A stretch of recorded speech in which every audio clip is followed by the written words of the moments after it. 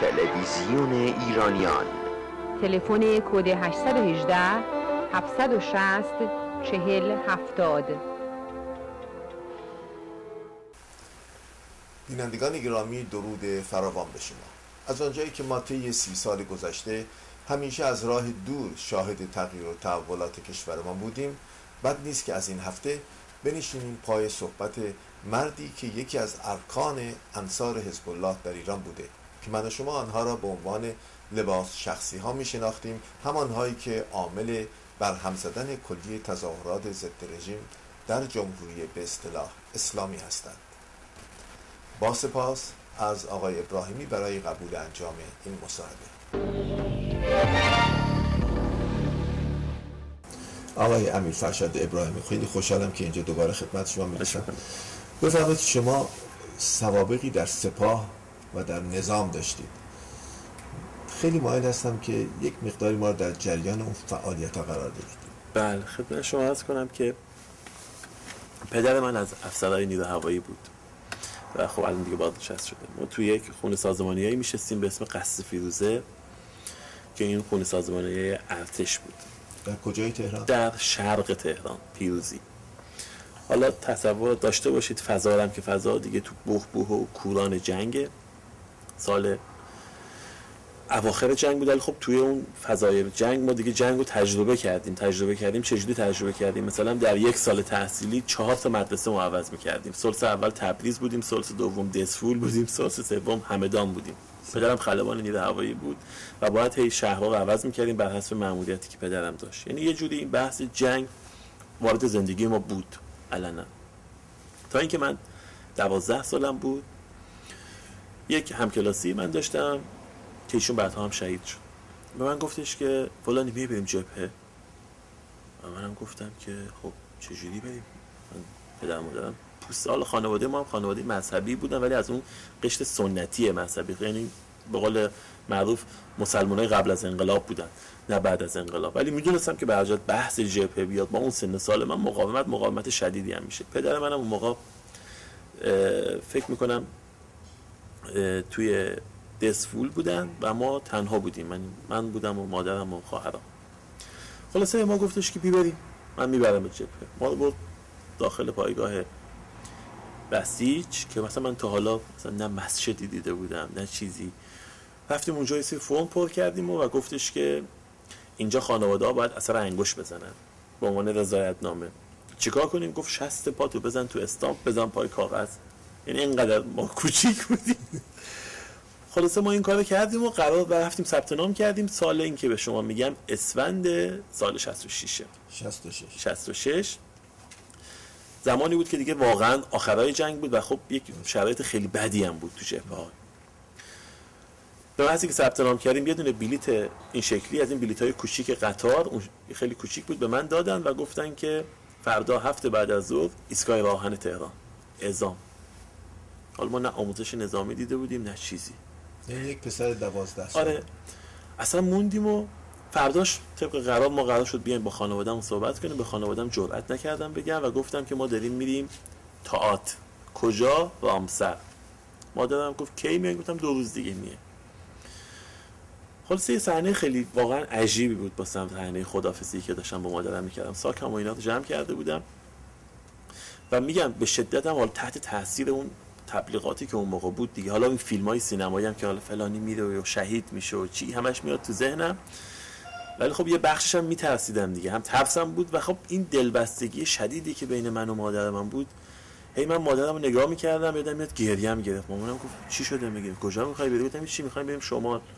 گفت خب باشه برو دیگه پس میای دیگه دو روز دیگه. گفتم آره. خیلی مهمه که چه عاملی باعث میشه شما به خانواده بتونید دروغ بدید. نگاه کنید اصلا به اون بخشش الان بخوایم بیایم فکر بکنیم که چه چی یعنی واقعا هیچی نبود.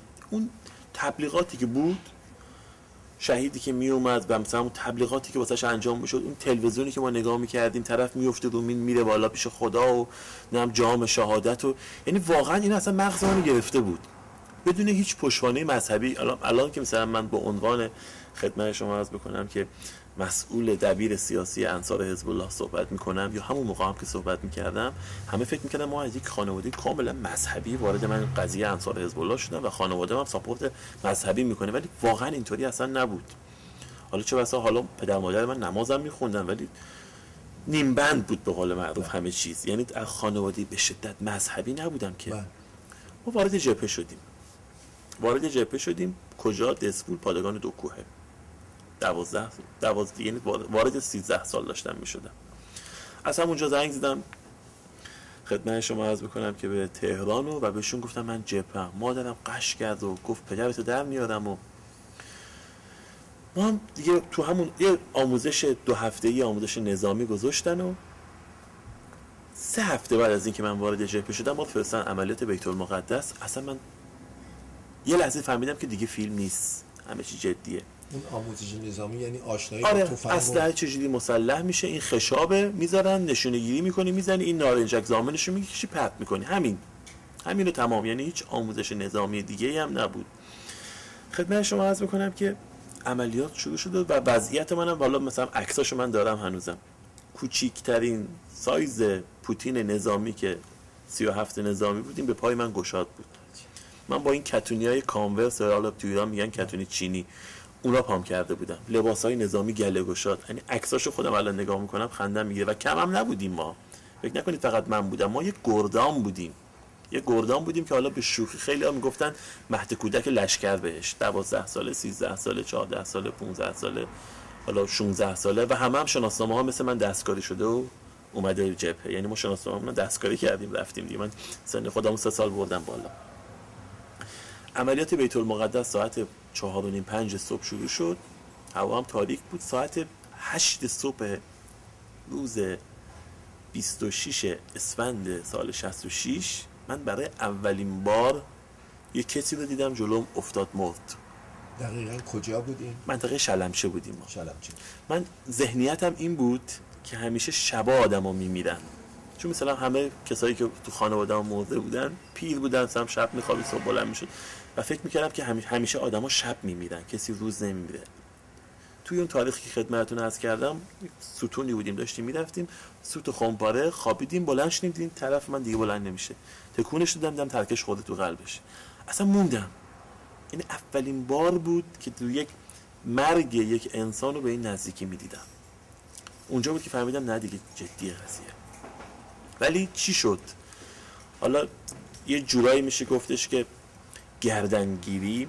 یه عده میگم مثلا ما گردنش یا طرف دیگه ترسید. یه جورایی هم حالا واقعا آره که دیگه روم نشد بگم من میترسم. و یه مسئله دیگه هم هست که بدون رو درواسی باید بگم همه ما ایرانی ها حالا چه دوازده ساله چه پنجاه ساله چه سی ساله آدم جوگیری هستیم. سری جو میگیرتمون. منم اونجا دیگه دیدم خب من دیگه رزمنده هستم یعنی چی میترسم و اینا؟ بریم جلو. ماشاءالله حزب الله. رفتیم جلو. که ترکش خوردم همون روز من. اومدم بیمارستان یعنی کار رسید به جایی که من وقتی فرستم بیمارستان امام رضایی مشهد و باز من دیگه تو همون جوگیری محبوفم که بودم زنگم به خانوادم نزدم. چون می‌دونم می‌تونستم زنگ بزنم پدر مادرم بیاد چک و لقد اینجا. دیگه حالیشون نیه من جانبازم و چی. منو برمیدارن می‌برن تهران. زنگ نزدم خلاصه ما اونجا یه کلوش دو هفته تو بیمارستان مشهد بستری شدیم برگشتیم و اونجا هم همه گفتن جانبازیه که با حالت باند پیچی شده دوباره برگشته به جبهه و ما دوباره رفتیم تو اون ژاند سینما به قول معروف ژاند سینمایی که باز خودمون دیگه کسی هست. جنگ تموم شد. یه سری آدم هم شناختیم. حالا مثلا کسایی که اون موقع مثلا حسین الله کرمی که حالا امروز فرمانده حزب بود و چیچو فرمانده گردان من بود در گردان کمیل مسعود دهنمکی یه تیپ بودیم ما. برگشتیم جنگم تموم شد هولوش ده ماه من جبهه داشتم. برگشتیم اومدیم مدرسه. دیپلممون رو گرفتیم و من به کار روزنامه نگاری علاقه داشتم. از اون اول می نوشتم مثلا همیشه انشامم خوب بود و اینا. یه مجله بود به اسم سوره نوجوانان. این برای حوزه هنری بود. شهید سید مرتضی آوینی که در روایت فتح بود ایشون. مسئول این مجله بود. ما توی اون روایت فتح شروع به کار شدیم. بعد دیگه دیپلم هم که گرفتم وارد دانشگاه هم که شدم رشته سینما رو انتخاب کردم. ما افتادیم تو. دانشگاه تهران. دانشگاه هنر دانشگاه سینما تئاتر تهران. من کارگردانی سینما خوندم. بعد وارد روایت فتح شدیم. روایت فتح کارش بود که فیلم های مستند و داکیومنتری راجع به جنگ تهیه می‌کرد بعد از جنگ که یک روزی آقای حسین علا کرم اومد دفتر دفتر روایت فد و گفتش که فلانی ما می‌خوایم یه گروهی تشکیل بدیم بچه های رزمنده رو جمع کنیم دور هم گفتیم خب برای چی؟ گفت می‌خوایم باشیم مثلا کار فرهنگی بکنیم کار مثلا هنری بکنیم بچه رزمنده ها جمع باشیم همه دور هم دیگه و یه گروه داشته باشیم هیچ حرفی از حزب الله و اینا هنوز نبود. گفتیم که خب اوکی. چیکار بکنیم؟ که آره مثلا یه نشریه‌ای بزنیم. کنید من اینا که خدمتتون میگم خیلی اعتقاد دارن که مثلا خود من هم از اون کسایی بودم که بعدها خیلی ها بازی دادم. ولی حقیقتا و خدا رو شهادت بگیرم من هم نمی‌دونستم. مسئول دهنمکی هم نمی‌دونست. این که حالا یه عده میگن به فرمان رهبر انصار حزب الله را افتاده من نه تاییدش می‌کنم نه تکذیبش می‌کنم. ولی اون روزی که ما قرار بود این گروه رو را بندازیم عین حرفی که حسین الله کردن به من زد. که گفتم خب مثلا اسم این گروه باید چی باشه؟ گفت مثلا انصار حزب الله خوبه. ما هم گفتیم خب خوبه. حالا چرا انصار حزب الله واسه اینکه همون موقع ما وقتی اعلام می‌کردیم ما حزب الله هستیم خیلی مخالفت های داخل کشور با ما می‌شد که یعنی فقط شما حزب اللهید مثلا ما هم می‌تونیم باشیم مثلا آقای جریاناتی که حالا مثلا به چپ مذهبی مثل آیون حجاریان و اینها اونها هم اسم خودشون توی مقطع حزب الله میذاشتن. برای همین اومدیم گفتیم ما انصار حزب الله هستیم یعنی یاران حزب الله هستیم. یه نشریه ای را بیفته و ما گفتیم که باشه قبوله. کار انجام میدیم. نشریه را افتاد. گروه را افتاد. اصلا قرار بر این نبود که بخشی از حکومت داخل ماجرا باشه. یه روزی من سر کلاس بودم دانشگاه تهران حسین را کردم به من زنگ زد. حالا من سر هم یه جوری بود. خیلی ها فکر می‌کنم مثلا الان همیشه شلوار نظامی و نم چپی و اینا گردنم بود. نه من یه جین پام بود همیشه. با پیرن مثلا کتون رنگی دانشگاه تهران بودم. حسین علاکرم به من زنگ زد. کجا گفتم دانشگاه. گفت بیا میدون فلسطین همون میدون کاخ. یه جلسه قراری بریم یعنی تا اون روزم من نمی‌دونستم قضیه چیه. گفتم جلسه چی گفت؟ بیا بریم حالا می‌فهمیم. سوار ماشین شدیم کجا میریم؟ گفت میریم دیدن آقا. آقا؟ هیچ ما رفتیم اون دیدیم که خب مثلا همه اومدن نشستن. با من با یه وضعیتی هم بودم که اصلا خجالت میکشیدم اونجا. با اون شلوار جین و پیرن رنگی و اینا. خلاصه نشستیم. اون جوگیری هم داشته باشید دیگه. یعنی اینو من صادقانه اگه بخوام خودم یک نقد بیرحمانه بکنم اینی که من آدم جوگیری بودم. ما دیگه رفتیم تو خط حزب الله یک روزی و خب مثلا قدرتی هم که واقعا قدرت قدرت رهبری هم پشت این قضیه بود. یعنی وزیر کابینه به شدت از ما میترسید که مثلا می‌گفتیم آقای مثلا شریعت مداری وزیر بازرگانی اگه این کارو نکنی فردا یه مش حزب الله میزیم جلو وزارت خونتان اونم گفت خب باشه قبول. حالا این سوال مطرح میشه که اون روزی که شما رفتید به دیدن آقای خامنه‌ای آیا علف کردن گروه های مختلفی رو از جاهای دیگه هم. هماهنگ کردید آره. فقط شما نه نه. یه گروهی بودیم. نکنید ما هولوش 17 18 نفر بودیم. رفتیم خب. دیدن آقای خامنه ای آقای خامنه ای اونجا برگشت به آقای حسین الله کردم گفت آقای الله کردم شما مسئول حزب الله هستید دیگه. که بعدها که خیلی از کسایی هم که از حزب الله جدا شدن مثل من مثل حجت الاسلام پروازیان مثل کیانوش مزفری مثل حمید حمید کازمی بعدا به این نتیجه رسیدیم که اصلا حسین الله کرم ما رو اون روز برده بود اونجا که ما از زبان رهبر بشنیم که این مسئول حزب الله است اصل قضیه این بود. داشته باشید همه این حرکاتی که حالا انجام می‌شد. مثلا زمان دولت آقای خاتمی بود. آقای عبدالله نودی وزیر کشور بود و آقای مهاجرانی وزیر ارشاد بود. یک جماعتی هم همیشه تو آستین داشت این حزب الله به اسم خانواده های شهید. که ما یک هزینه کرده بودیم. چیزی دقیقا یادم هلوش دو میلیون تومن از سراسر کشور اتوبوس بره. خانواده ها که حالا معلوم هم نبود واقعا خانواده شهید بودن یا نه. اینا رو سوار کنن بیارن جلو مجلس شورای اسلامی به عنوان تحسن خانواده های شهید که مخالفن با وزارت ارشاد آقای لاریجانی. اینو داشته باشید. این قضیه روز دوشنبه بود.